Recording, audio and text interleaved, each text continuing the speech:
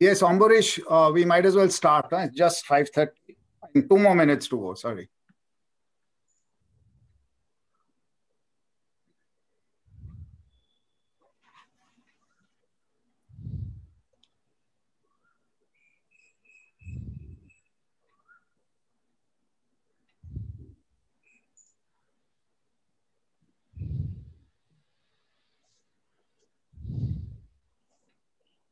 We have 100? Yeah. Yeah, yeah, more than 100. Well past.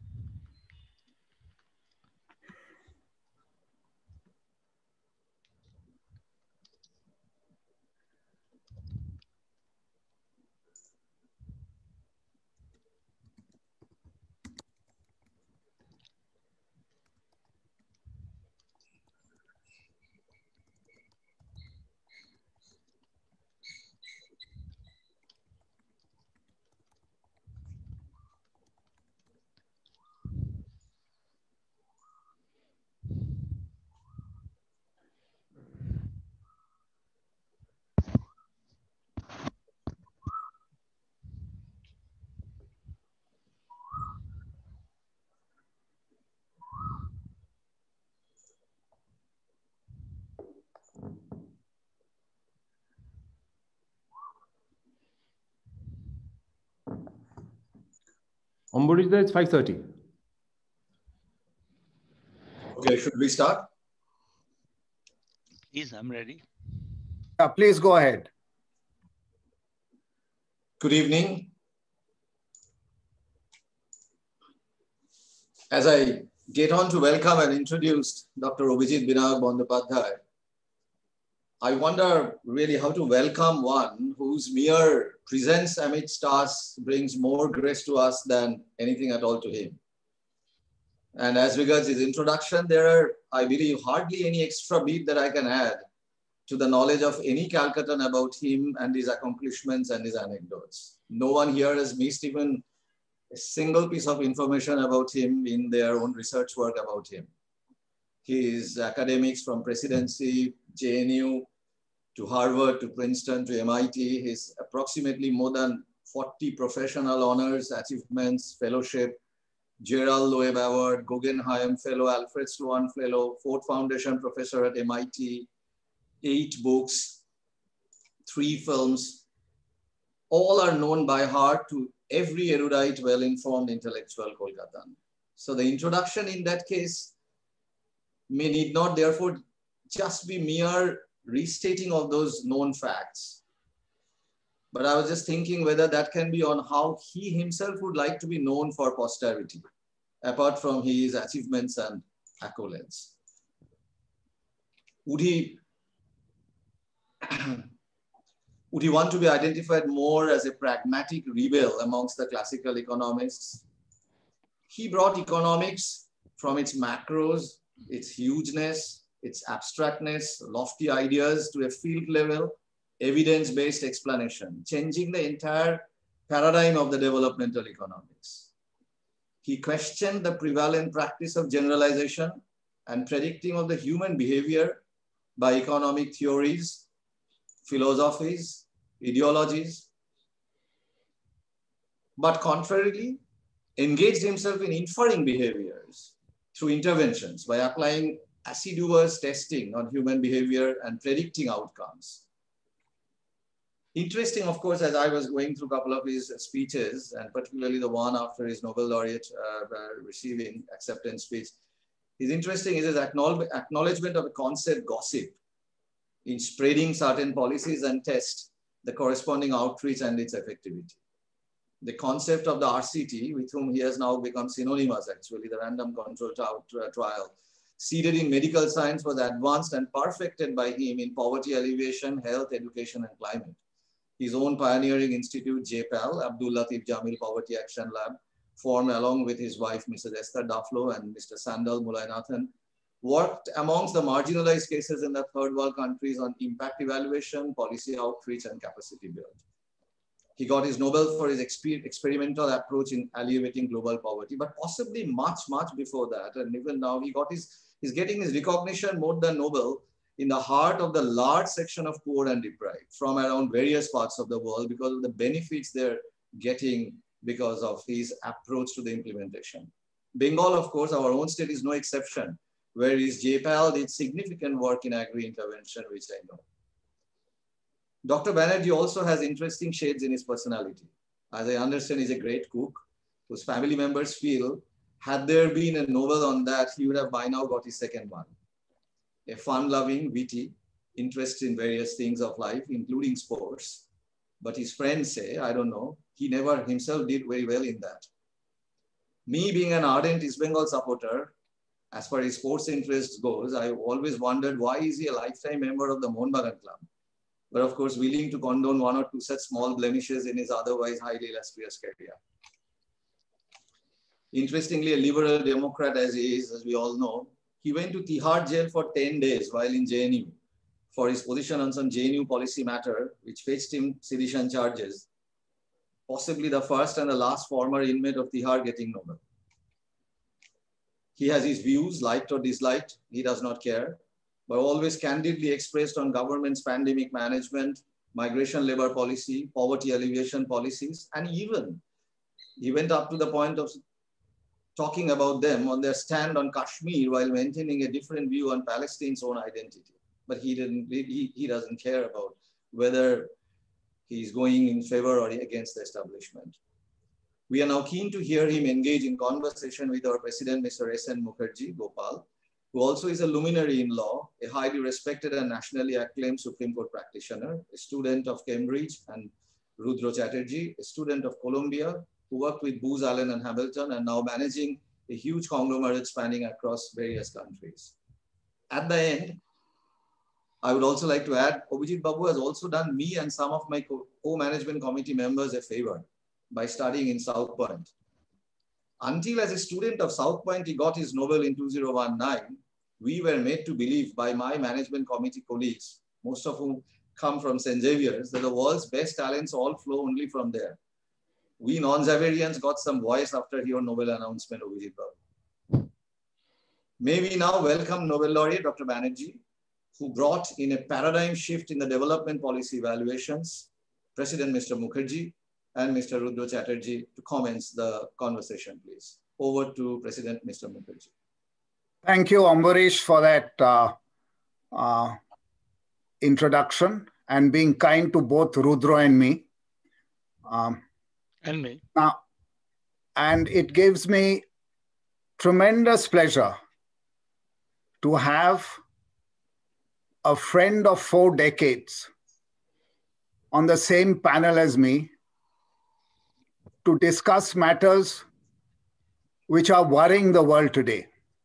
I value his opinion and I hope to make today's engagement interesting from our end, and I'm sure he'll do from his. Now, before I take it any further, there are a few house rules. I request all members of the audience who have logged in today to be in mute mode. Uh, we would not like any disturbance while the panel discussion is on. Second, the discussion is going to be freewheeling. It is going to be on topics of uh, current interest, and we will proceed on a question answer basis. And hopefully, this discussion between the three of us will continue for about 40, 45 minutes. After which, we are going to have questions from the audience. Now, my request is that the questions are put on the chat box, and Mr. Rudra Chatterjee will then put select only five, not more than five questions to put to our speaker today. Dr. Abhijit Binayak Banerjee. He is pressed for time. I'm grateful to him to making time for us. Thank you very much, Abhijit. Now, may I put the first question to you? Please, please, please go ahead. So, Abhijit, about 10 years ago, you presented your book, Poor Economics, to me. Now, in the forward to your book, Esther and you wrote, and I'll just quote from here, that the book makes clear why hope is vital and knowledge critical. Why we have to keep on trying even when the challenge looks overwhelming. Success isn't always as far away as it looks. Now, today, in the midst of this pandemic, when India's economy has been devastated, large number of people have fallen before the poverty line. How do we keep our hopes alive? Where do we look for hope? And how do we overcome the damage caused by it?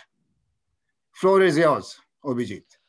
So I, I, I guess I, I think that um, I can't I, don't want to give a recipe for uh, for what the what the next uh, you know the next step should be. But I think the general point is that till 2019, if you take the 20 years before 2019, the most striking fact about the, the this period is that this overall world poverty declined massively and it's not just in India and China, it's also true in countries like Bangladesh, Vietnam, Pakistan, uh, Nepal, a bunch of countries, you see uh, a substantial amount of decline in poverty. This is um, the second thing, maybe even more important, quality of life measured by things like um, infant mortality.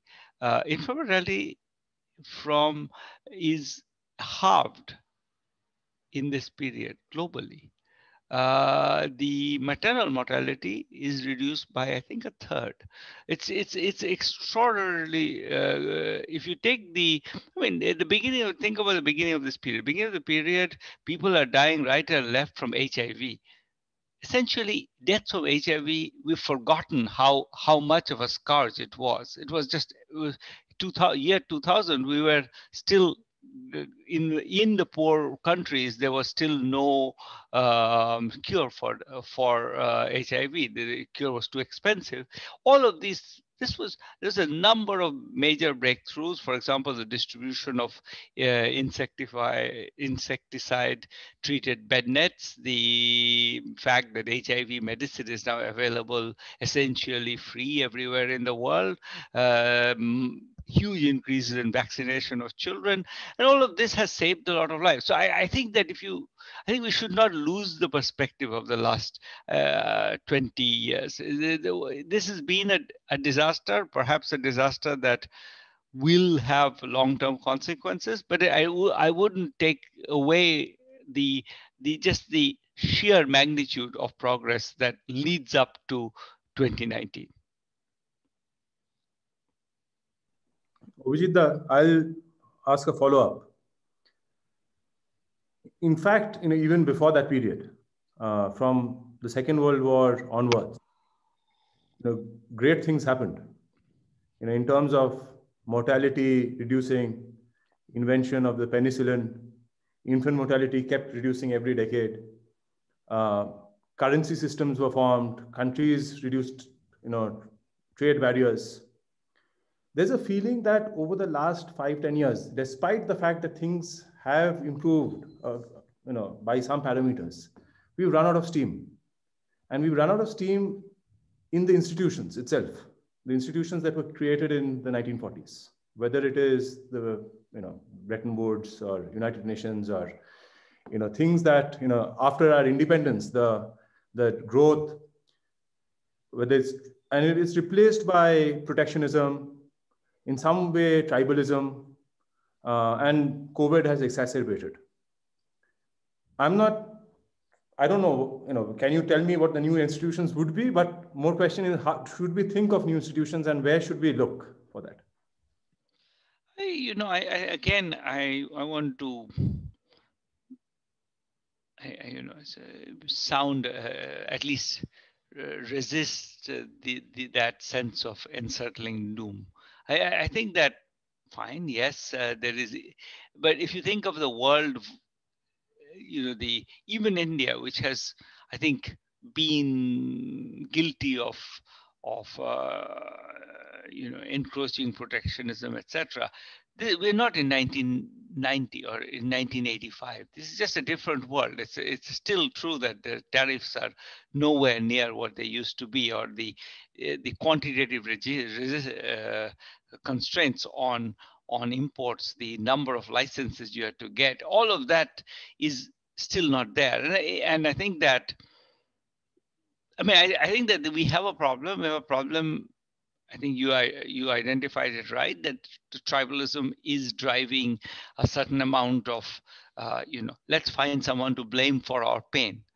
Uh, and I think each country is doing that in their own way by blaming minorities, blaming uh, China, blaming, and of course, in many cases, as with China, there is probably some element of truth in it uh, that uh, I won't say in many cases, but in some cases, the element of truth in China. China does uh, look, you know, a bit too much of a you know, it, it, it, played a very complicated game to get where it got. The currency was devalued for forever and ever, and made made the Chinese economy competitive. It, I think estimate is it spent three trillion dollars, kind of subsidizing production, basically. So I, I, and I think that that, that did undermine faith in WTO, and rightly, I think in some senses, uh, we we realized that some country that really wants to you know play play this game ruthlessly it's very hard to stop it. We don't have the we do i don't think an institution i won't blame the institutions. I think the institutions were doing their job. It just if you want to you can afford to spend 3 trillion dollars to uh, subsidize the currency and therefore keep basically chinese prices low then that's going to be always a little bit of a uh, something that's very hard to regulate. Basically, I don't know how how the WTO would have stopped that. And uh, I think the and I think the probably the right mechanism is the one we have now, which is that people are protesting. The Chinese are both you know, claiming they have done nothing wrong and slightly trying to be defensive about it. And that's probably the is a political. It has to be a political negotiation where you know some price is paid by uh, China for that, and um, whether that's uh, whether it'll be I, unfortunately we done in inefficient ways. There will be like the U.S. tariffs on on steel and aluminum and things like that, which are completely useless and uh, don't protect any, anybody uh, really, but do a lot of damage to world trade and especially symbolically. So I, I, I, do, I do think that in the end, what we need is not more, I think, trying to think of institutions that are going to solve a really enterprising, somewhat ruthless program of uh, nationalism is probably, you know, I, I, I don't think that's realistic. What's realistic is what's happening now, which is a certain amount of political pressure, um, whether that works or not. Uh, but I think that that has to be the shape of the future. It has to be political rather than institutional.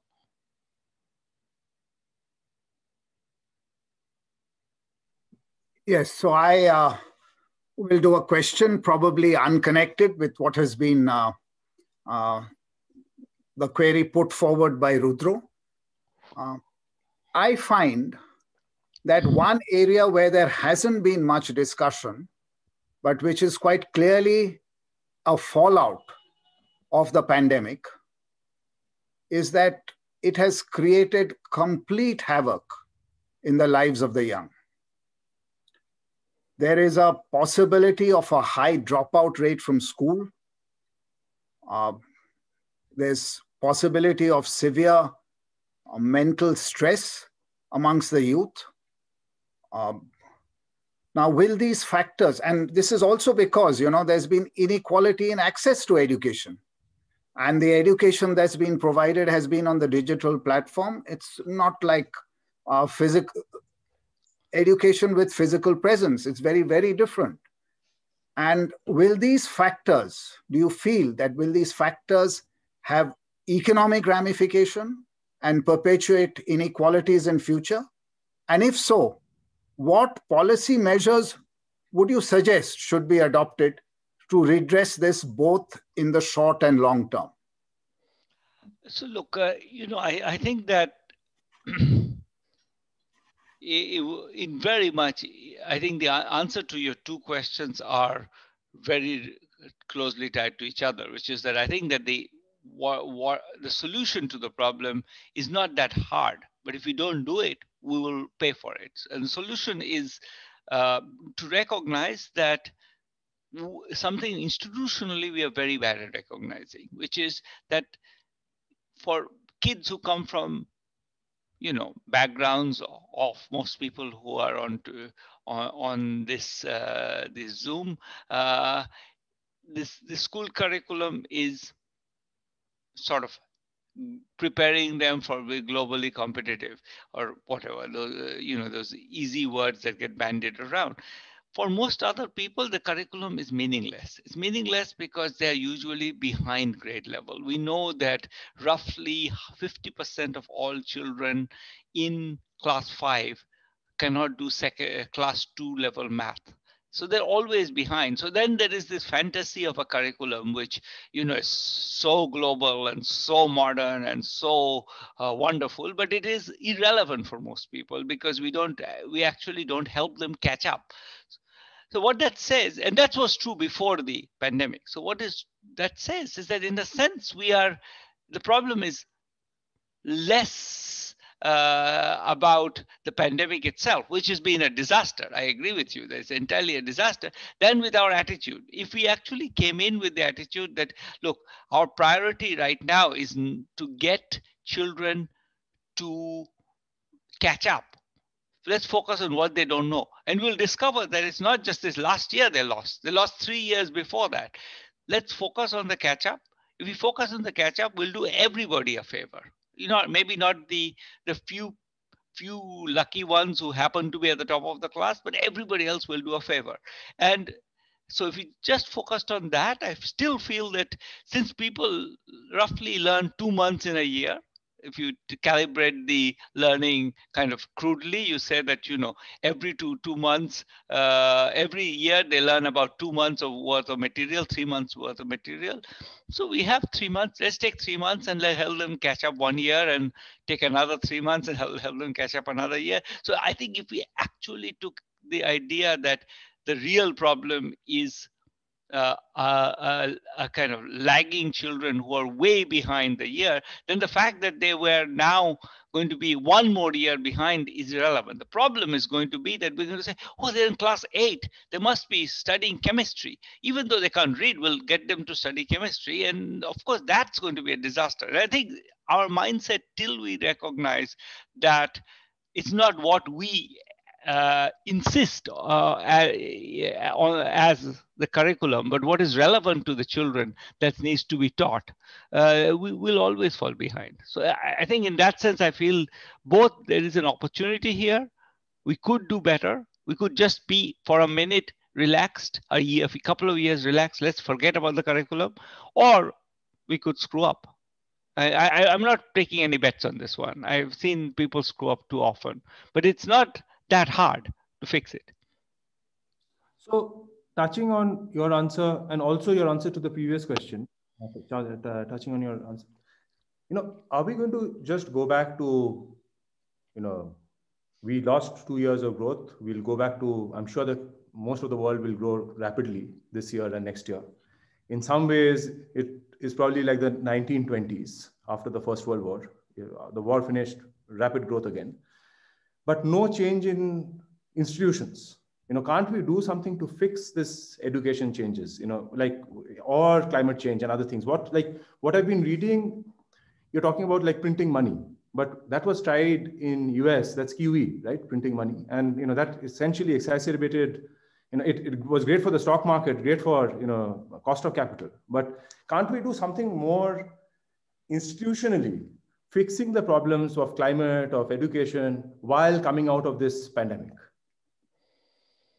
Look, I think there's a short run and a long run. The printing money is not about the long run. It's about restoring demand in the economy. I think the economy is has been demand short since 2016 at least and perhaps before that i think and that was a result of number of things but i think partly uh, you know the if you in real terms uh, the procurement prices were peaked around 20, 2009, 2010. And since then, procurement prices for agriculture, which is sort of income to the poor, a lot of has fallen.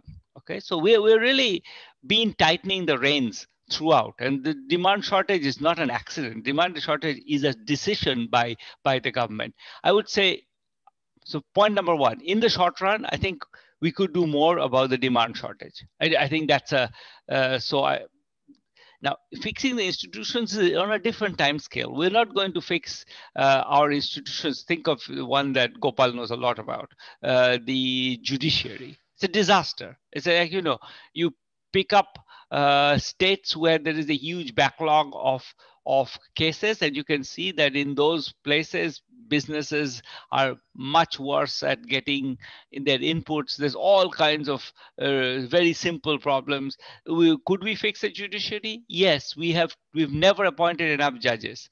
We uh, could we in, in some ways it's but it, could we do it in a day? No it will require a certain amount of vetting, a certain amount of legitimation. Even if these judges are going to be just as good as anybody else, we need certain amount of legitimation. The legitimation process seems to be broken. Maybe I'm going to throw that question back to you, uh, to Gopal, to say, how would we fix the judiciary? It's a, it's a very, very practical question. We could, I want to throw it back to him. I mean, I would lo love to see that fixed. And it seems straightforward as a, as a, at the you know at the bird's eye level where I am looking at it, it looks why can't we do this? This one has been identified as a problem for 25 years at least. Why are we doing it?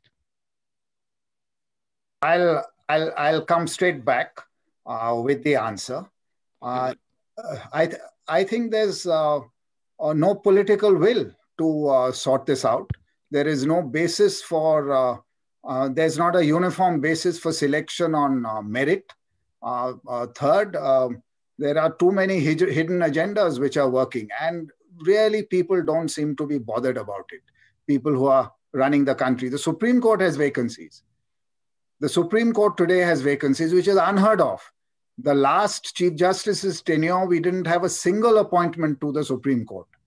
So it's the collegium which is holding things up. It's probably or or it's the government which is holding holding things up. We don't have a, a proper procedure in place. Uh, there are always uh, uh, doubts cast about whether the procedure was at all fixed, whether second, whether it it was at all um, uh, followed. Uh, it's just um, something which is not transparent at all. And that's the one thing which needs to be transparent the appointment of not just the higher judiciary, the lower judiciary as well. If we look at if we look at the uh, case backlogs, we should be looking at the lower judiciary first. And I think here, what's really important is the criminal justice system has actually failed. It has failed completely. And that affects the poor more than anybody else. And during the course of this pandemic, another sad thing which has happened is yes, high courts and the higher judiciary have got used to uh, of uh, video conferencing. They've had the infrastructure laid out. But where it's needed most, it's not reached. The district courts actually, where they ought to have video conferencing, nobody is suggesting for a moment that everybody gets tech savvy and can actually start reading uh, off the tablet or the computer. They still read from their papers, fine, but at least provide access by letting the litigant know that he is being seen, he is being heard, and his matters are not getting shelved simply because of the pandemic. We've had enough time to work this out, and this has not happened. There's a little monopoly going on in the higher judiciary on this. And even in the higher judiciary, frankly, I have found that at times, even when the court has time to take up matters, it will not because its perception is that some matters are not urgent enough. But there is time within quotas. Now, all this really has to change. People have to work overtime. People have to strive to improve and have to adapt with the times to make justice delivery system work. I, I, I firmly believe that it's all sections of the bar, it is the judiciary, as well as the, uh, the, the, the people in power, the government, the executive, the legislature, who are all to blame in this. It can be fixed, as you quite rightly say, on, a, on the basis of a bird's eye view. So I, I think I'll leave it at that. In fact, one of our friends, Joydeep, should be there, who's uh, at this uh, webinar, and uh, and uh, he would probably have a lot of answers to uh, the questions. But we look forward to you actually being in India when we can sit down and have a chat on that. I, I, I, hope to learn from you. I, I, I find this baffling, to be honest. It's one of the places where there seems to be no progress, uh, except in very, uh, you know, like through on on debt recovery or something. A few specific interventions, was almost nothing else changes over uh, 25 years. It's it's one of the least uh, progressive areas, let's say. Absolutely. Now, can I get back to you with a question? Uh, please. Yeah. So uh, you have written about uh, vaccine access being, and I'll quote here, deeply unequal. I think that was an, uh, what you wrote in The Guardian in the global scenario. And uh, you have made an argument there, uh, both moral and economic, uh, for uh, rich countries to share their existing vaccine stocks now, I, uh, with the poorer nations, and uh, I was just thinking, I mean, most of these rich countries are democracies. Is it politically practical to get the leaders of these countries to really uh, share the existing stock of vaccines, or there could be other ways uh, in which to make vaccines, distribution of vac- vaccines and administration of vaccines more equal? And I use that in quote unquote more equal. So I, I, think you're right that I think it's going to be, I mean, they have now, they're dragging their feet. Uh, this commitment of, I mean, the uh, 1 billion doses is not going to get us where we need to get to, which is to, you know, I am guessing 8 billion doses for the 4 billion people who, who need them. So I, I think it's, they're dragging their feet and that's partly because the political commitments are uh, difficult. I, on the other hand, I, I mean, it's also the case that it's a it is a democratic failure, and I don't understand what is its.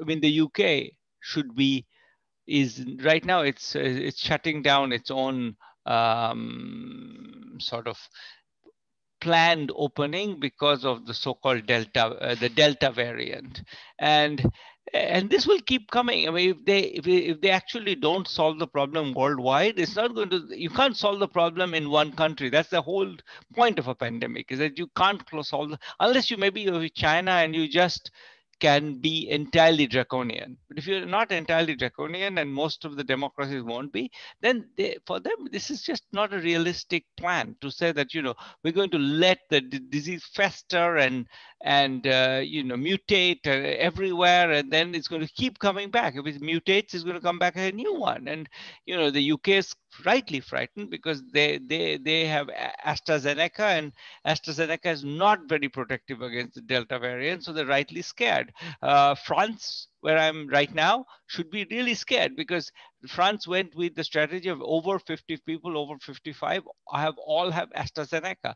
Uh, this will be a, a, massacre if, if, if the Delta variant comes back. So I, I don't understand what they're thinking even. I, to be honest, I think this is this is this is so this is not a question of democracy. If you you you should be able to tell, go to the voters and say, look, this is just to protect ourselves. We're going to give them away because it's going to come and kill us. If that's what you need to say, you can say it. Why they're not saying it, I don't know. That's that's more baffling to me. Is you know, sometimes interest group politics, whatever, US uh, tariffs on aluminum, that's too complicated. People can be fooled by it. Eh, you can imagine, uh, you know, uh, ways in which people like Trump can use it politically. But this one, it seems easy to see that it's just in everybody's interest to get it done because you know the UK is shut re-shutting down or not reopening, and my fear is France will re have to re-shut down after they open because this Delta variant is here and it will, I, I, I don't understand the logic of this. This seems to me to be transparently uh, in the collective interest. So, Ovijit, just to follow up from uh, the question that you just answered about the vaccine. And it's a question on market failure in some ways. What I read, IMF came up with a budget that the cost of vaccinating everybody is $500 billion. 50. 50. 50. 50 billion dollars. The world economy is what 70 trillion dollars? Yeah, yeah, it's nothing. It's a drop. I mean to and the roi would be like 300% 400% so why can't we find a way to structurally have the manufacturing capacity to vaccinate the world? You're talking i'm I, am i am kind of shocked when you said the astrazeneca doesn't work work against the delta variant because all of india has been taking the astrazeneca. Yeah, yeah, yeah. And, so, and, and, we know that that's why in India the second wave was so brutal because a lot of older people who had been vaccinated got it. This is not. This is partly how people figured out that it doesn't work very well. Is that a lot of vaccinated people got got uh, got uh, the, the, the Delta variant. So, uh, so why can't we do it? That's a. My question is not a general answer but someone who you know goes into the micro give us like step couple of steps. What do we need to do to what would should the world do to find manufacturing capacity to vaccinate the world? I think manufacturing capacity to vaccinate the world uh, i suspect that uh, the the two two questions one is should we uh, should we combine AstraZeneca with some other vaccine? Uh, and I think the answer is yes. I think the the to the there's a recent trial. I think the results came out yesterday, if I'm not wrong, showing that the uh, combining AstraZeneca with Pfizer, for example, actually is much more protective against the variants. And I think in general, the logic of, of the mutation suggests that different lines of attack joined together are going to be better. So I say that because I think part of what needs to happen is Pfizer being produced in India. And I, I think it's not, I think Moderna has, to me, diminished itself by claiming that it's so difficult that the Indians couldn't do it and therefore they are just not sharing it with it. I think it's bullshit. I think we could do it. I, I think you're, I think the core, at the heart of what you're saying is a very simple point, which is that we can do india and south africa and brazil could manufacture tons and tons of these and we could give it to the whole world. And i, I think that 50 billion dollars is a drop in the ocean. So it, it's it's really that these uh, the but the technology transfer needs to happen quickly and we with some uh, grace. So you know pfizer can't be pulled in kicking and screaming. They'll just make it so difficult that it won't happen what we need is them to step forward and say, look, you know, this is we're doing this for the glo global interest. We've already made a ton of money, and that would be and you know they'll be paid something out of the 50 billion dollars. So I, I really do think that it's, I mean, the marginal cost of producing these vaccines is nothing to do with the price they're charging vaccines are very cheap to produce. It's just there's some fixed cost of developing the technology, and they're they're reaping that. And but now that, for example, this new one, uh, Covaxin, which also seems to be, uh, no, Novavax, Novavax, which is also supposed to be very protective, uh, is also available. I think they should feel some competitive pressure. So maybe slowly uh, the gov. I mean, I, I, if I were the uh, I were the combine of the IMF, the World Bank, WTO, and WHO, I would try to start um, with whatever money we can raise, start bidding uh, on contracts to to actually help develop uh, vaccines somewhere. So pay somebody a fixed amount to now help India produce whatever, Novavax or Moderna or Pfizer, one of these which is going to be somewhat different from what we have and therefore together more productive, uh, protective. Just following up on that, do you think there is a case for a temporary waiver of patent rights to vaccine technology? And will I, that? I, I think there's a there's a case for buyouts at some price. And the US has, in a sense, said that it would, in principle, accept that. And since then, nothing's happened. What's really striking is after the Biden administration said that, they sat on their hands. I think what is really shameful is how uh, countries like the US have behaved in in this one. I mean, in in vis-a-vis uh, COVID-19, they they said that you know in principle they'll be, but then I don't know, maybe they're having behind the doors negotiations every day and they're just not ending. But it's every day you wait, you kill some people, and not just in in India, you kill some people in in in the UK as well. I mean, this is this is a this is a pro, situation where you know it's going to take three four months to develop uh, uh, you know capacity to produce uh, a new vaccine. I mean, it's not going to be faster than that. So we're talking about, you know, October or uh, November. So it's it's you know, and so and we're going to have perhaps one more wave before that, and so it, it really is a it's a, it's catastrophic to keep waiting. And I don't understand what's happening. I, I I think in principle they have accepted that. The U.S. government has accepted that, which is the key player in this. Uh, but in practice, they seem to be sitting on their hands. So Vijita, before I go to the next question, I just ask you to send if you have any information about this AstraZeneca versus Pfizer for Delta variant, because there's been a lot of questions about it, um, uh, saying that, um, you know, what is the difference between the two vaccines in terms of efficacy? Has there been any research? So it will be good for members to get that information. Um, the the question google, google it to be honest. I what i would do is the, what they can also do which is google it. It's it's completely in the public domain. There's a british study and a french study. And the french study shows that basically french study is a study of uh, of uh, directly of uh, you know they they took out the uh, the people's uh, so they just of antibody production so not of full efficacy, but of antibody production. And they find that one dose of, of AstraZeneca gives you about a one third protection against the Delta variant, which is really not satisfactory. Right. So I'll switch the discussion. There's a comment that the discussion is on medicine, not economics. So I'll come back to the question on uh, economics. I know your focus is on inequality and poverty of people, but my question is more the inequality among companies.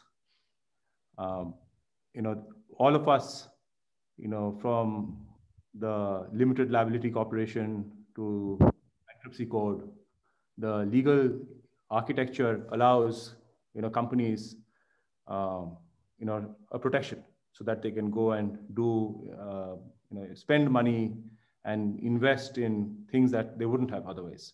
It seems, however, for whatever reason, some companies have done incredibly well and most companies haven't done so well.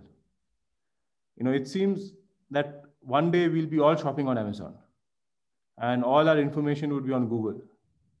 And, you know, all our devices, maybe we'll be all, you know, energy, buying energy from Tesla. So where is this going in terms of corporate or, you know, inequality? Uh, between some companies versus you know stock market is doing phenomenally when MSME companies aren't you know doing as well. So where is this going? And this is global, not just in one country. Uh, that's an excellent question. I, I mean, I, I think that I'm less, I'm going to say I'm, uh, I'll bet against Tesla being supplying all our energy because I, I think there is a real difference. I think both Amazon uh, and Google have massive economies of scale you know you once you have a set up a, a, a, supply chain your advantages are so massive because you you know you have like you know you have your uh, you know multiple steps in that you know you have storage. If you have volume you can have storage in in the neighborhood. If you don't have volume you can't have storage uh, except at some central location. So i, I do think that play amazon who uh, i think jeff bezos was you know brilliant in taking a bet that there the economies of scale would work there. The economies of scale are really extraordinary in in retail.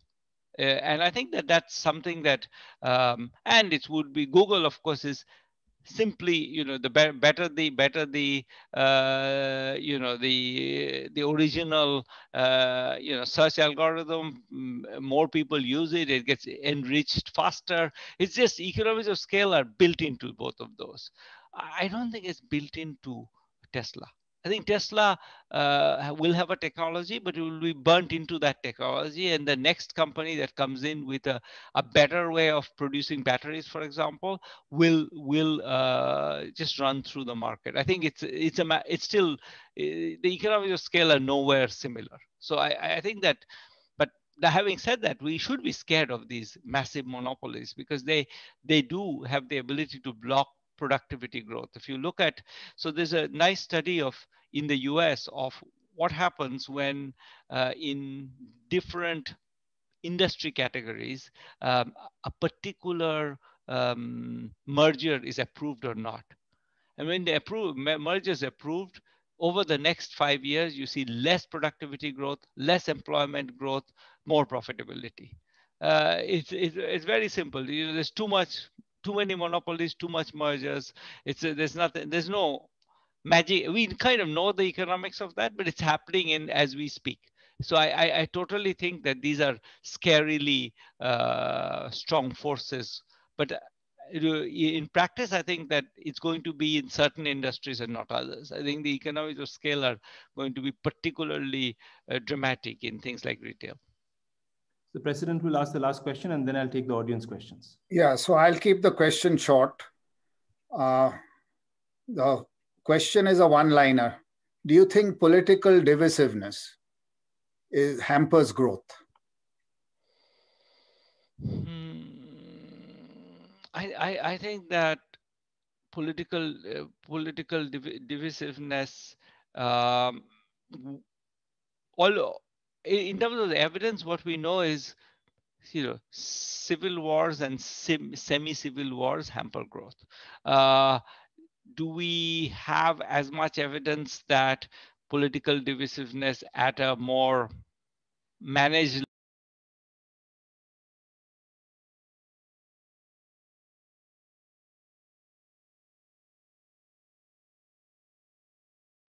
I think you've got muted there. Abhijit, you've got muted. We've heard about your evidence with civil war. After that, you went mute. Okay, but yeah. not because of anything I did. It's it's it's it mm, had its own. It didn't like my views. Uh, but uh, but in general, I think that I, I would not call growth. It seems to me that the wrong that's the wrong question. Divisiveness makes us less. It makes us a less good society to live in. Makes people.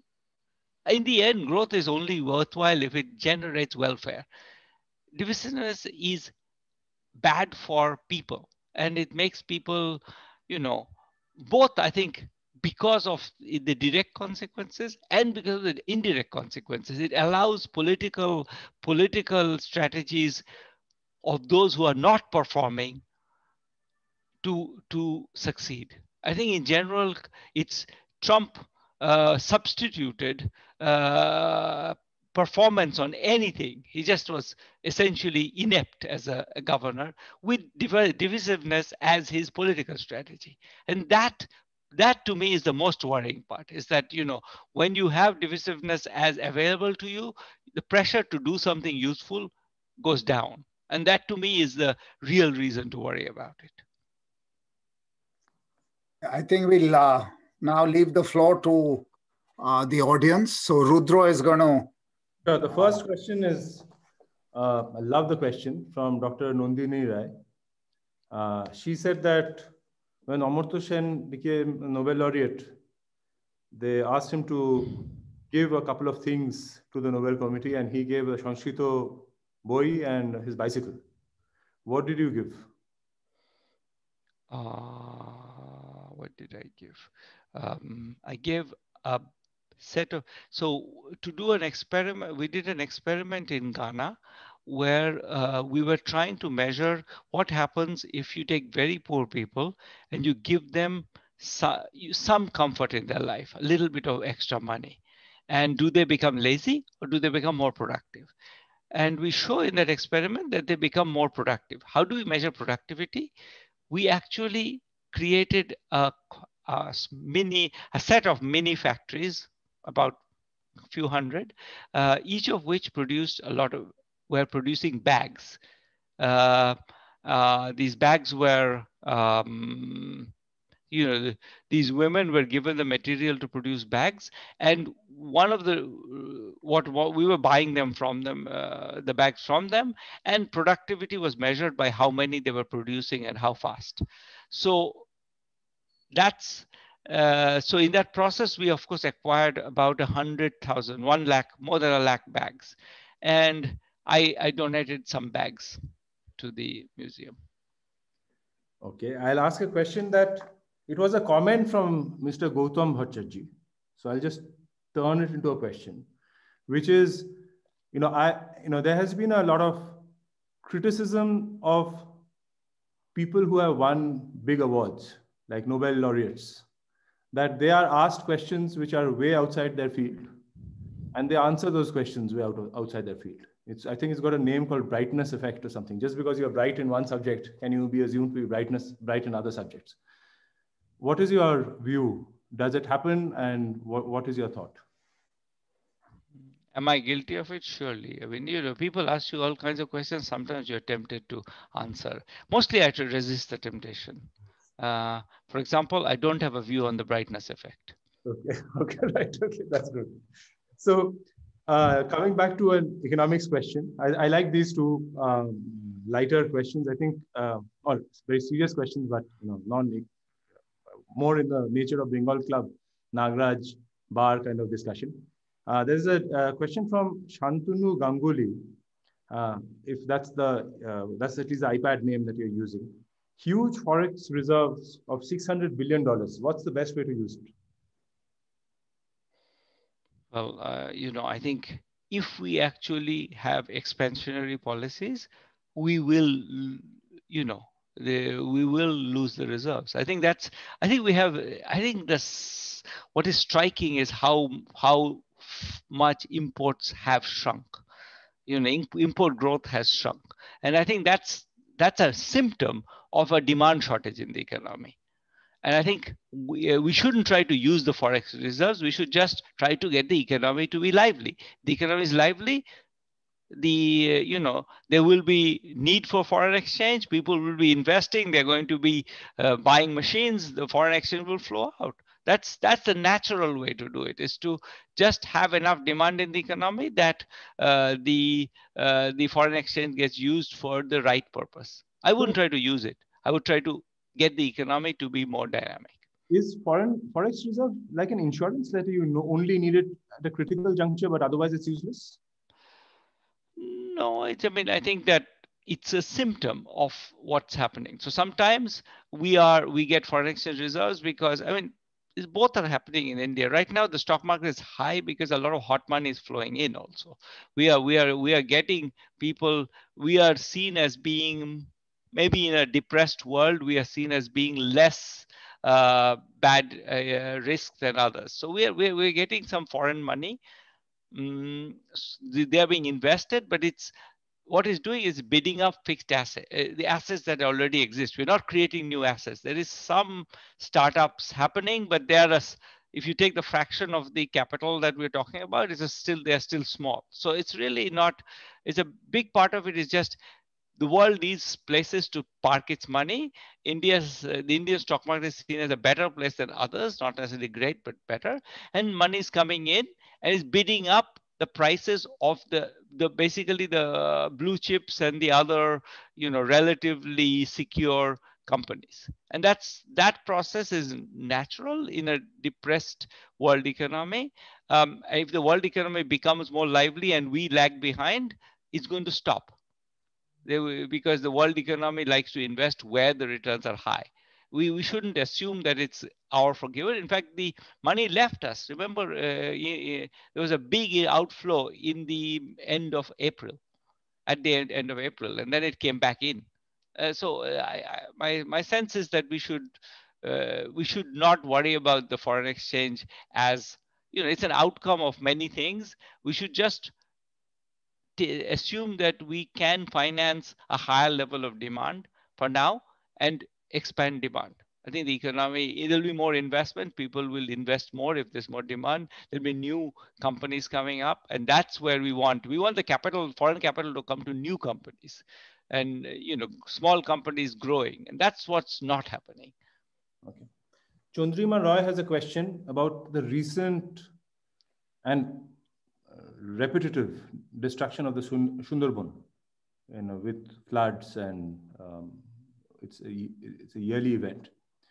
Do you think, she asks, MNCs worldwide are implementing adequate changes to reduce environmental damage? So the question started by Sundarban, but her question is more general about MNC.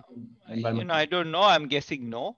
I mean, why would they? I mean, if the regulators don't impose prices on them, why would they do it? They will pay lip service and do, you know, there'll be more greenwashing than uh, real green policies. And I, I, I, am I, I, but I, I must confess, I'm, I haven't been checking on the MNCs what they've been doing. But why, you know, why would they? I don't see a reason why they would. I think there is a general problem, and Sundarbans are a symptom of uh, the oceans are rising, climate change. I, I think it's not. We're not. This is uh, the frequency of of cyclones is going up in certain parts of the world. It's I think these are all reasonably predictable by by what's happening in the in the environment. Also, but the one thing is I was reading in the newspaper that in Shell, two activist investors, because of climate policies, have you know forced themselves into the board and changing some of the policies. There's something to do with Exxon as well in the climate. So if it's you know, if this has been carried by Financial Times, reported it, and about you know huge oil and gas companies, maybe there is something hope, hopeful, uh, and I don't know whether it's fast enough. Yeah, I agree with you. Both parts that it may, it is hopeful, and I don't know whether it's fast enough. Urmila Chakraborty asked a question. El Salvador has adopted cryptocurrency as legal tender.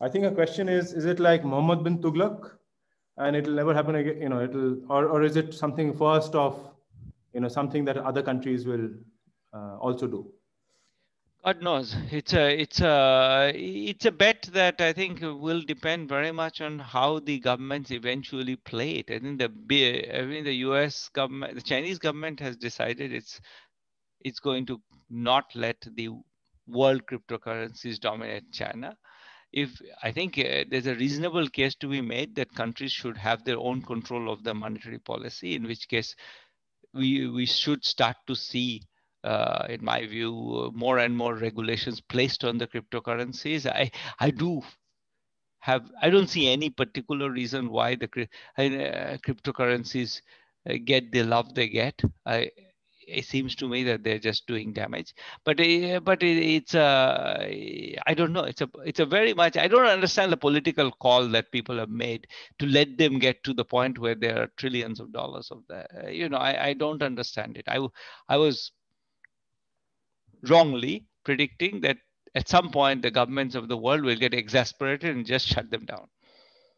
And it's still possible so thank you, Abhijita, for a great discussion. We have three minutes and would uh, call on Dr. Chatterjee for the vote of thanks.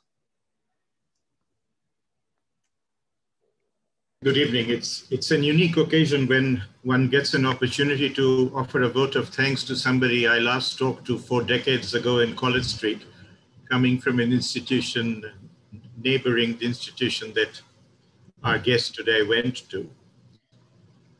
It is, of course, unique that the Bengal Club has a chance to each give a vote of thanks to one of 10 Indians who has won the Nobel Prize, one of six couples in the history of civilization to have won that coveted prize as well.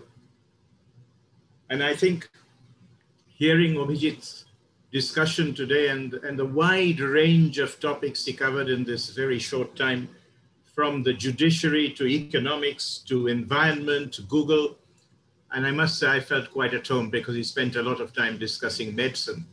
And I've just a few seconds before this meeting read the Lancet article on the vaccines published this afternoon. But thank you very much for really an enthralling evening for the members of the Bengal Club. He did treat us to a wide range of facts, a lot of fearsome facts and prophecies. And perhaps I should end with the words of Alfred Nobel, whose prize he has won for us. Uh, Alfred Nobel said, Hope is nature's veil for hiding truth's nakedness. And I think uh, Abhijit epitomizes that. We still all live in hope while we listen to the truth's nakedness that is uh, expounded before us. Thank you very much. And I have to also take this opportunity to thank Rudra and Gopal, who have made this evening possible. Thank you very much uh, on behalf of all members of the Bengal Club. And thank you for having me. Uh, it was a great pleasure. And uh, keep coming back to Calcutta once travel opens up. yes, I. It's not because of my not wanting to come back that this is not happening. Okay, bye. Best. Thank you very much, Shima. Thank you. Bye.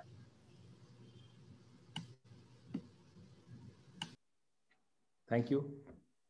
Thank you, everybody.